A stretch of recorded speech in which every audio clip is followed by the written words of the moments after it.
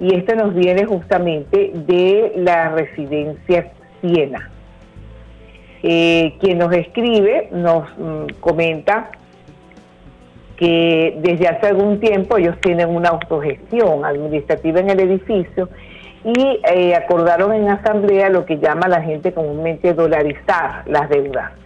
y em, que nosotros le llamamos reexpresar la deuda de Bolívar a divisa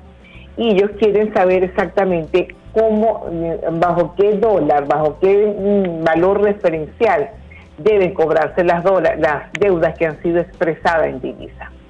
Y, la solución a este caso es muy sencilla y justamente la trae la ley del Banco Central. El artículo 218 de la ley del Banco Central establece que las obligaciones pueden ser contraídas en divisas y que a menos de que se hayan puesto en, de acuerdo las partes en pagar en divisa en la moneda, eh, se puede cancelar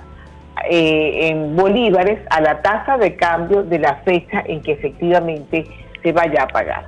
¿Qué significa esto? Que si nosotros facturamos, tenemos una deuda de, de 4 millones 500, por decirlo, algo que equivale a un dólar al momento en que se expide la factura,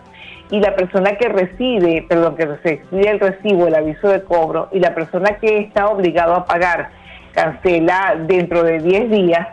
donde la tasa de cambio ya no está en 4 millones 500 mil bolívares, sino que está en 6 millones 500 mil bolívares por la tasa del Banco Central. Esa es la tasa que vamos a pagar. ¿Y por qué vamos a pagar esa tasa? Justamente por disposición de la ley, porque se ha utilizado el dólar como unidad de, como unidad de cuenta,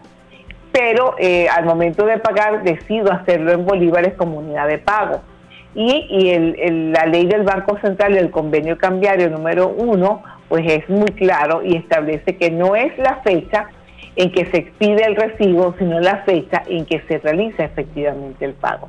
Esa es la manera en que debe hacerse este pago. Así que con esta recomendación que le damos a los residentes y sobre todo a la Junta de Condominio de Residencias Siena, Em, le damos respuesta a este caso que nos han enviado al servicio público de atención gratuita de micondominio.com.